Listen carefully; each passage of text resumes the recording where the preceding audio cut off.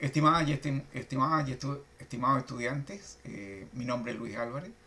Junto con el profesor eh, Cristian Lazo, eh, seremos los responsables del curso Info 058 durante este año, durante este semestre más bien. pertenecemos al Instituto de Informática y bueno, nuestra misión es enseñar y aprender Python. Python es uno de los lenguajes más conocidos. Está disponible en para notebook, para tablet, para teléfonos. Así que es muy fácil descargarlo, aprenderemos ahí, aprenderemos en una de las primeras clases, haremos eso.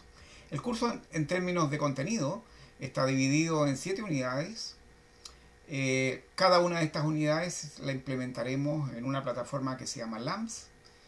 Eh, cada una de estas eh, eh, eh, unidades tiene una evaluación y el promedio de esas evaluaciones vale un 25%.